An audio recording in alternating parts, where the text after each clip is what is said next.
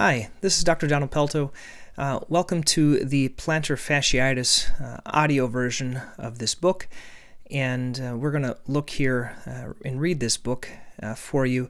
If you want to get a digital download of this book, you can go to drpelto.com, D R P E L T O.com.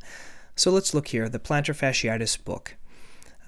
The copyright is 2019. All rights are reserved. No part of this book shall be reproduced or transmitted in any form by any means electronic, mechanical, magnetic, photography, including photocopying, recording, or by any information storage or retrieval system without written prior permission of the publisher. No patent is assumed with respect to the information contained here. Although every precaution has been taken in preparation of this book, the publisher and author assume no responsibility for errors or omissions. Neither is any liability assumed for damages resulting from the use of the information contained herein. Requesting permission to make copies of the part of the work should be mailed to Permissions, Dr. Donald Pelto, DPM, Central Massachusetts Podiatry, 299 Lincoln Street, Suite 202, in Worcester, Mass. 01605, USA. The contents include introduction, plantar fasciitis, what is plantar fasciitis, symptoms of plantar fasciitis, the plantar fasciitis scorecard, causes of plantar fasciitis, diagnosis, plantar fasciitis treatment evaluator, treatment categories, reduce inflammation, reduce tightness, stabilization, foot and reduce pressure, surgical options, preventing plantar fasciitis, video explanation, online product recommendations, Amazon, plantar fasciitis treatment checklist, frequently asked questions, and additional resources. Introduction. Thank you for your interest in the plantar fasciitis book. This book is intended to help provide further education to you about plantar fasciitis. By no means do we believe this book takes the place of visiting the office. However, if you it can be of good use as a reference source for information about treatments that can begin at home and what treatments are used in the office setting. This book is set up with different sections and online resources and videos that can be helpful to the recovery from plantar fasciitis. You can view each of these resources by clicking the accompanying link. These are the same resources that I give to my patients in the office. If you are a visual learner, I will recommend starting by watching this video explanation of plantar fasciitis. This will help you better understand this book. The video is 27 minutes. Uh, click here to watch the video. To your health, Dr. Donald Pelto. To download this video, go to drpelto.com and click on the plantar fasciitis book to view the contents and the downloads. Plantar fasciitis. What is plantar fasciitis? Heel pain is most often caused by a problem called plantar fasciitis. This can also be termed heel spur syndrome, where a spur is present on x ray evaluation. Heel pain can also be due to other causes, such as a stress fracture, tendonitis, arthritis, nerve irritation, or even a bone cyst. Since there are many probable causes, it is essential to have the heel pain properly diagnosed. Symptoms of plantar fasciitis. The most common symptoms of plantar fasciitis are pain on the bottom of the heel, pain first thing in the morning when getting out of bed, pain that increases over a period of time. People with plantar fasciitis often describe the pain as severe upon rising in the morning and then improving as they become more active during the day. After they sit down and relax, their pain is lessened until they begin moving again. After walking for a few minutes, the pain decreases because they are stretching the plantar fascia. For other people, the pain is worse when they are on their feet for longer periods of time. The plantar fasciitis scorecard. To help you better understand the symptoms, I've put together a plantar fasciitis scorecard. To use the scorecard, read each of the items on the column on the left and rank your system your symptoms and give it a score. All the scores you have on the right column and read the information below. The plantar, plantar fasciitis scorecard. Number 1. Severity of symptoms. I don't have any pain with my plantar fasciitis at this time. 1, 2, and 3. I have pain when I do extended periods of standing and walking, but besides that, I don't have any daily pain. The next, 7, 8, or 9, I have pain daily when walking and standing. And 10, 11, and 12, I have pain all the time when standing and walking, despite all treatments, and it even hurts when sitting down.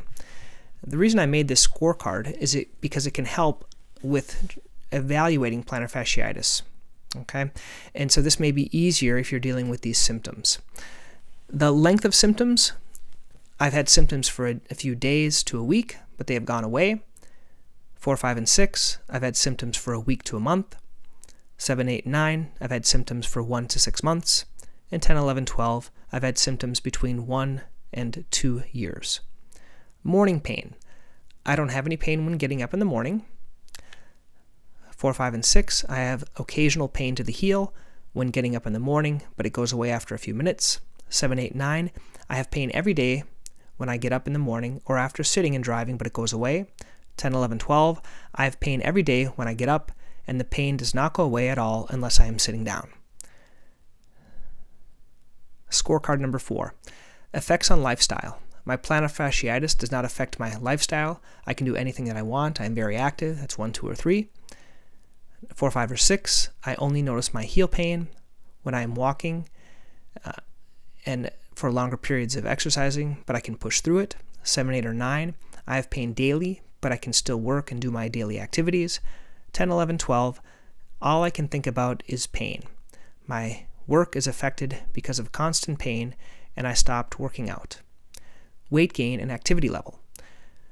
I have no weight gain and no change in my activity level with plantar fasciitis.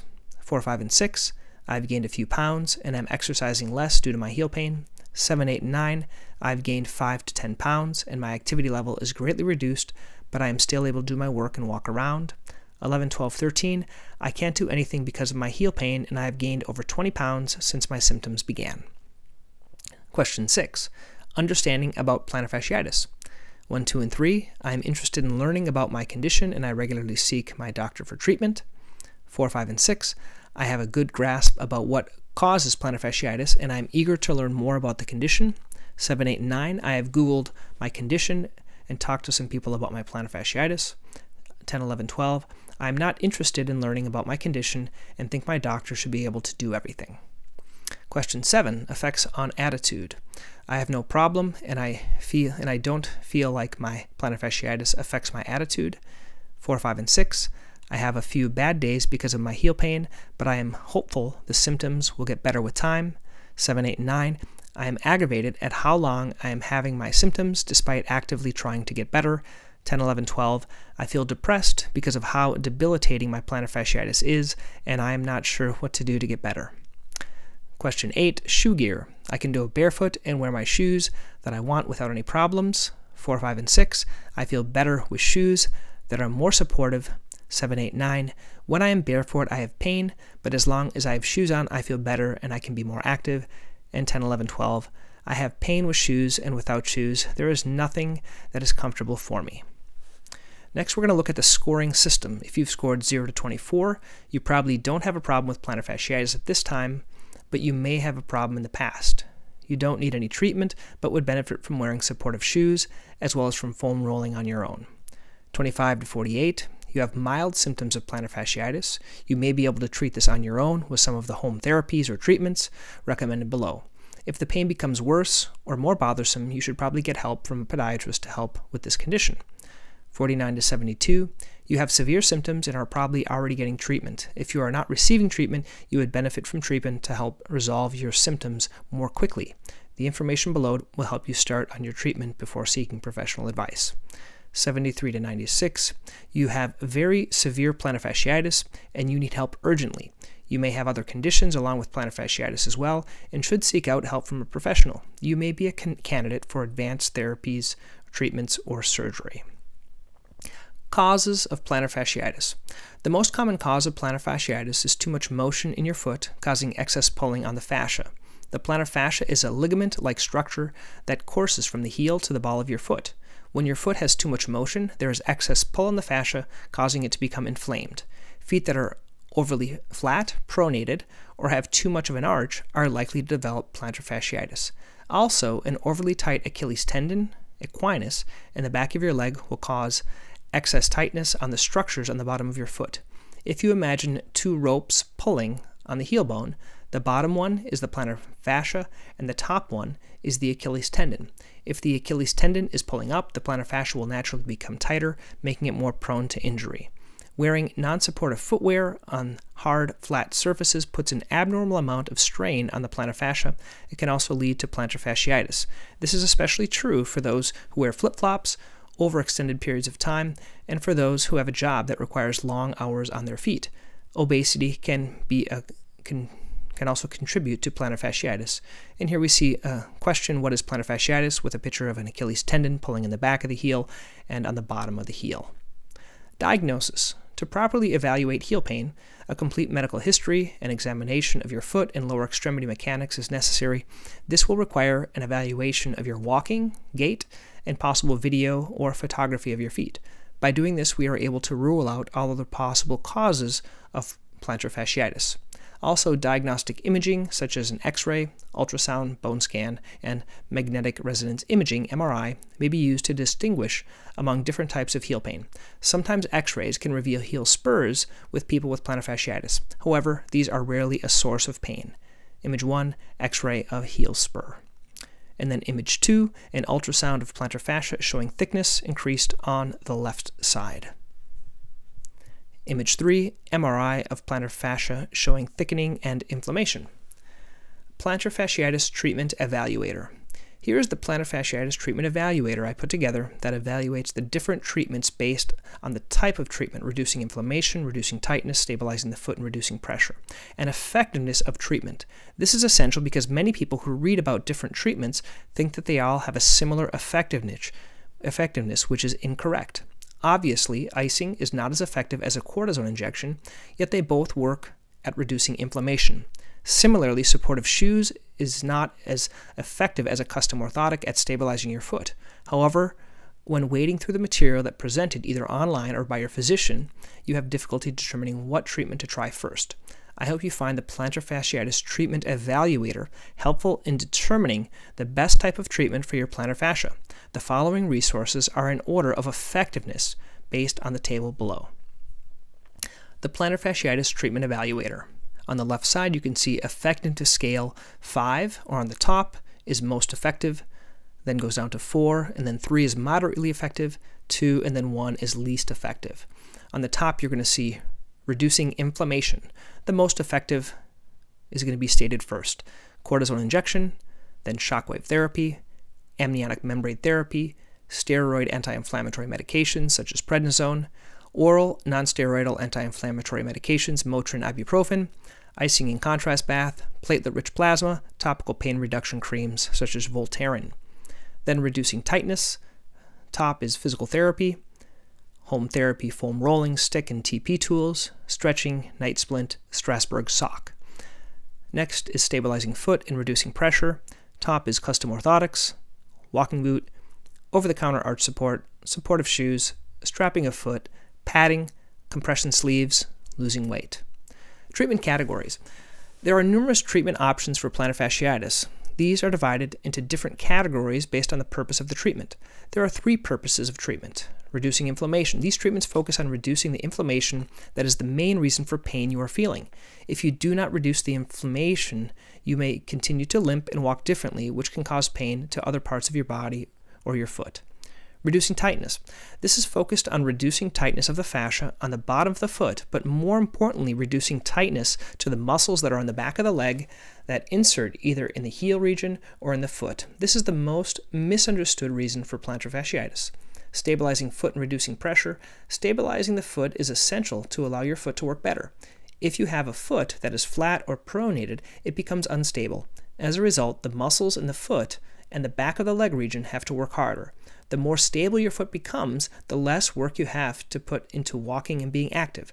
Reducing pressure is the least important aspect of the treatment, in my opinion. If you have plantar fasciitis in only one foot, and they both have the same pressure on them, why don't they both hurt the same? Reducing the pressure can help initially, but only if there is inflammation, as mentioned in item number one. But once the inflammation is improved, there is less of a need to reduce the pressure on the heel region. After each treatment, you'll find an explanation of the treatment as well as the pros and cons of each treatment to help you better decide what is the best for you. Reducing inflammation. Cortisone injection. Many times a cortisone injection can help reduce the inflammation and pain around the plantar fascia. Here is a document about information after steroid injections. If you have any questions, click to see the document. This can be found on drpelto.com under the plantar fasciitis book. This and all future other reference material to uh, a linked document to this PDF. Pros. For patients that can resolve the issue of plantar fasciitis very quickly and min minimize additional treatments. Cons. Usually you can only have three injections per year and these injections can weaken the fascia as well and can delay the use of other treatments such as EPAT because of the effects on inflammation picture of uh, cortisone injection into the plantar fascia. Shockwave therapy, EPAT. This is a non invasive surgical procedure that uses high intensity sound waves to break up adhesions on the plantar fascia and to help activate your body's healing response. The benefits of the procedure is that there is less needed time off of work following the procedure. Uh, here you can watch a video about the treatment, and if you'd like to read more about the treatment, there's some information on the website that has a link as well. The pros to shockwave therapy. You can avoid having a cortisone injection and may resolve the heel pain, and there are no side effects with this treatment. Some of the cons, sometimes it can it is not powerful enough to reduce inflammation and can be painful for some patients. Usually it's not a covered procedure by most insurance plans. Here's a picture of shockwave therapy. Amniotic membrane therapy. This is an injection that is done under ultrasound guidance into the area of maximal pain and inflammation. This therapy uses amniotic cells to help regulate inflammation in the body. To learn more, you can find a link on drpelto.com under the plantar fasciitis book. To watch a video about this treatment, you can go there. The pros, this is a good alternative to surgery and can greatly reduce inflammation naturally. The cons usually is not covered by insurance and most uh, treatment. Medications. Oral anti-inflammatory drugs, and NSAIDs, such as ibuprofen, may help reduce pain and inflammation. Also, there are steroid type medications such as prednisone that can help reduce inflammation. The pros, these can help reduce inflammation for lower pain level and inflammation. The cons, some people cannot take them due to stomach issues and they can cause other health conditions if taken long term. As well, they are not as effective as cortisone injections. Icing. Putting an ice pack on your heel for 10 minutes a few times a day helps reduce inflammation. An easy method of icing is using a frozen water bottle to massage the bottom of your foot. If you would like to learn more about how to properly ice, uh, you can go find this document on drpelto.com under the plantar fasciitis book. Pros, this is easy to do. Uh, this is easy to do on the foot and heel region. Cons, many people find it less effective than a cortisone injection and tends to make the area feel better only while icing. For more long-standing plantar fasciitis uh, or more severe symptoms, it's less helpful. Contrast baths. Another way to reduce inflammation is to switch from a bucket of cold water to hot water, and this can help reduce the inflammation. Switch from one basin to another every five minutes, ending in the cold. If you'd like to learn more information, you can find a document online.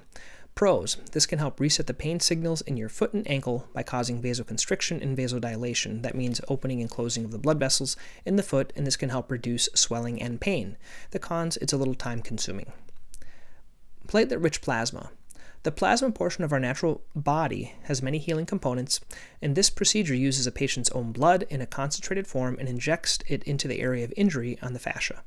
Following the procedure, the patient is immobilized in a removable walking cast and needs minimal time of work. The pros, it uses your own blood platelets to reduce inflammation. The cons, it's expensive and there's conflicting research about the treatment's effectiveness. Topical pain creams, there are many compounded creams that are available to help with reducing pain and inflammation. Some are purchased over the counter and others are prescribed. The pros, they do not involve any medications taken by mouth or injection, but the cons is that, that these topical creams are usually the least effective if you have much pain with your plantar fasciitis. Next, we're going to look at how to reduce the tightness. Uh, physical therapy. When stretching alone is not enough, either home physical therapy tools or physical therapy evaluation may be beneficial. Uh, if you'd like to see what the Graston tool looks like, uh, there's an example online, and it is recommended doing this. Uh, it's not recommended doing this on your own, but have a trained professional work with this type of a treatment. The pros most patients who have physical therapy get better quicker, and people are more consistent at doing home exercises with a therapist due to the accountability. The cons, there are some, though, that don't get better with physical therapy, and it also can be inexpensive if you have a high deductible plan. And you'll also see a picture here of uh, someone using the Graston technique. Trigger point. Deep tissue, deep tissue massage using trigger point tools is a dynamic treatment option when compared to static stretching exercises. The basis is on reducing soft tissue adhesions to the muscles in the back of the leg and can lead to heel pain. The treatment can be done in the convenience of your home with quick results. The pros it's effective if used at home and if used properly. It works better if you track your home therapy.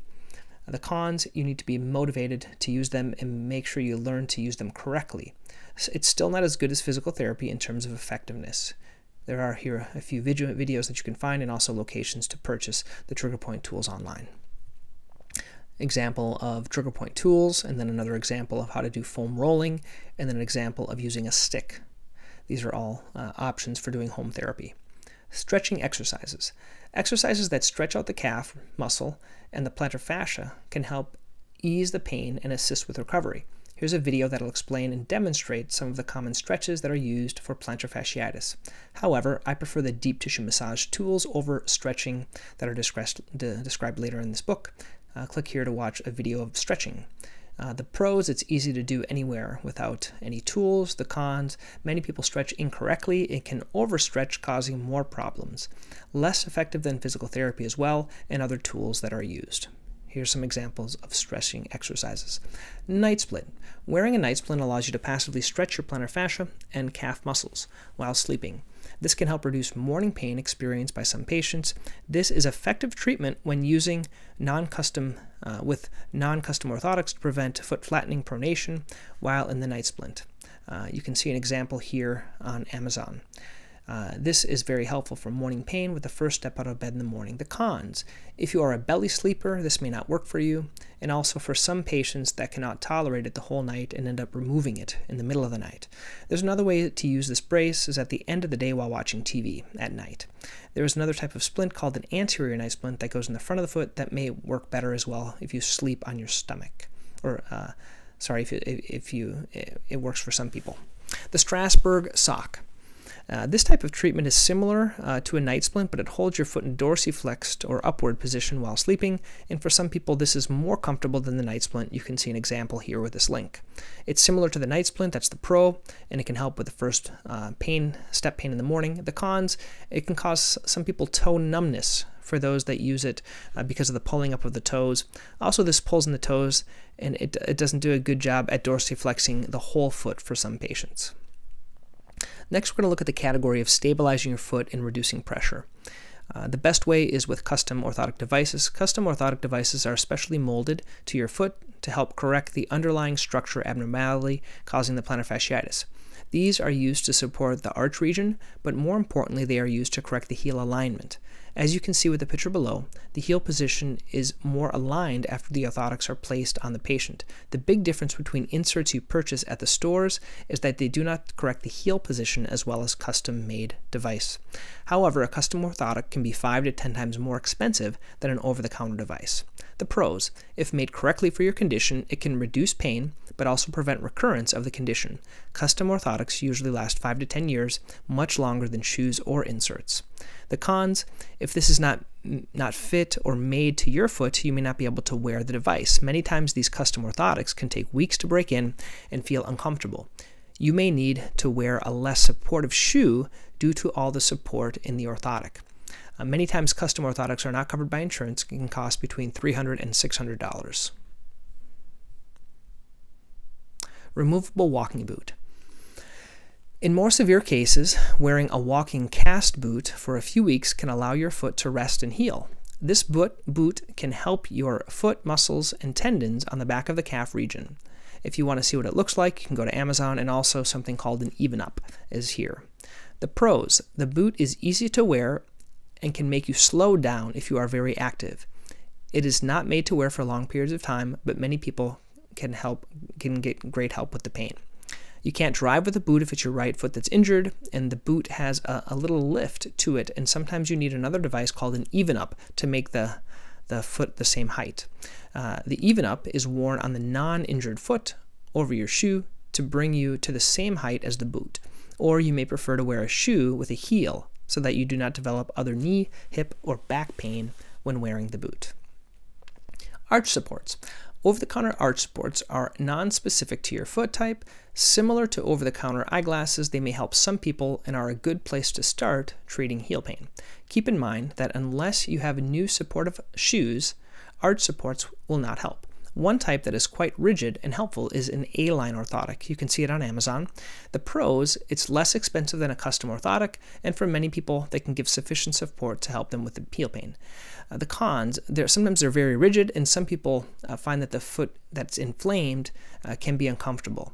These are not custom orthotics, so if you have much pronation or your heel is tilted, they do not correct the foot as much as custom orthotics. Good shoes. Wearing supportive shoes that have good arch supports and a slightly raised heel can help reduce the stress on the plantar fasciitis. When buying shoes, they should be comfortable the moment you buy them, and make sure you shop for shoes at the end of the day when your feet are the largest or more swollen. A good shoe that is popular now is a Hoka shoe that has extra cushion to the bottom of the foot. If you'd like to see them, there's a link to Amazon on the website. There are many shoes that are marked to be for plantar fasciitis, and this is only marketing. If you have quite a bit of pain and no shoe is comfortable, buying another one will probably not help or solve the problem. You should focus more on reducing the inflammation with other treatments explained elsewhere in this book. The pros. Uh, these types of shoes are very supportive, they have great stability and cushion, and many times they are very comfortable. People find them comfortable. They're uh, the cons is that they are higher up, and some people who wear these have some balance issues. These are specific to the Hoka shoes. Avoid going barefoot and wearing flip flops without support. When you walk without shoes, you put undue strain and stress on the plantar fascia it's best to have a flip flop if you're going to wear them with good support. Uh, there's an example here on Amazon of one of these called the OOFOS. The pros, uh, these are offer more support to the arch region than a traditional flip flop, and the cons is that the flip flops that are more supportive usually don't uh, look as good as the other ones. Uh, strapping is the next one. This consists of place padding on the, with, with tape on the bottom of your foot to help support the foot and reduce strain on the plantar fasciitis. Sometimes this can be used with um, a special tape called KT tape. Uh, here's an example of tape that will work well for strapping your foot. You can find this on Amazon, and also if you'd like to learn how, I included another video explanation of how to do this. The pros, this can help support your foot and reduce pain by increasing support. The cons, this is cumbersome to do uh, on your own and makes it difficult to shower when you have this on. Uh, next is padding. An Aircast AirHeel can pad uh, and can placed under the heel to help minimize the pain, but correction of the mechanical abnormality is still necessary.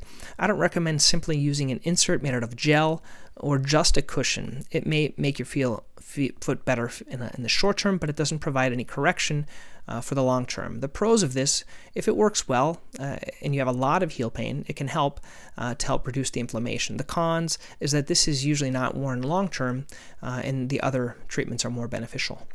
Compression sleeves. Many people with plantar fasciitis feel better with additional compression on the foot. This is similar, but not exactly the same as taping the foot. There are compression sleeves that work very well for this. Click here to learn about compression sleeves. There's some examples.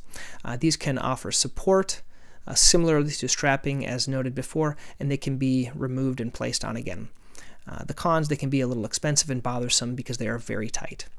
Now, losing weight. Uh, reducing extra pounds will help decre decrease the strain on the plantar fasciitis. Uh, many people come in the office with plantar fasciitis because they are exercising to lose weight. There is a new concept I'm sharing with many of my patients called intermittent fasting. If you'd like to learn more about this weight loss method, here's a book I recommend uh, you can find here. And also, there's an interview I did on a patient that's lost over 60 pounds using intermittent fasting. The pros this can help in general and will reduce the pressure on your feet, but weight loss is rarely the cure for plantar fasciitis. The cons to weight loss, none. Uh, surgical options. Uh, although most patients with plantar fasciitis respond well to non surgical treatments, a small percentage of patients may require more advanced or surgical treatments. If after many months of conservative therapy you continue to have pain, these are the other options that can be considered. Uh, endoscopic plantar fasciitis, this is a procedure that uses a small incision to identify and then surgically cut a portion of the plantar fascia to help relieve the pain. The pros, it's a smaller incision and quicker recovery. The cons, sometimes you can have nerve injury with this, uh, and sometimes it does not resolve the problem of the plantar fascial pain. Uh, open plantar fasciotomy. This procedure is similar to the one above, except that it uses a larger incision. The pros, it's easier to see the fascia and cut through the portion of the fascia. The cons, it's a larger incision, usually a little longer for recovery, sometimes does not resolve the problems of the fascia. Now, talking about preventing plantar fasciitis, no matter what type of treatment is used to treat plantar fasciitis, the underlying cause that led to the condition may remain.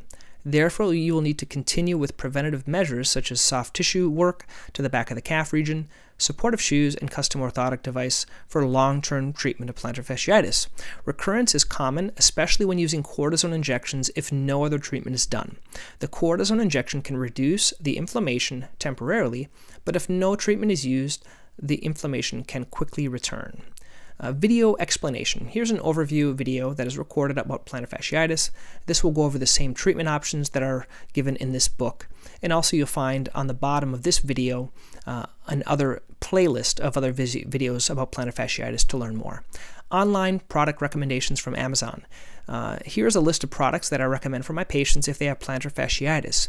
You may be unable to come to the office, but you will find this recommendation page the most uh, up to date treatment options for treating your own plantar fasciitis. Click here for recommendations. Once again, these are online things that we talked about in the book. You may need to see a doctor, but if there's no doctor available uh, or you want to try things on your own, you can try some of these products. Plantar fasciitis treatment checklist. Uh, here's a checklist you can use with your doctor to go over the different treatment options for treating your plantar fasciitis.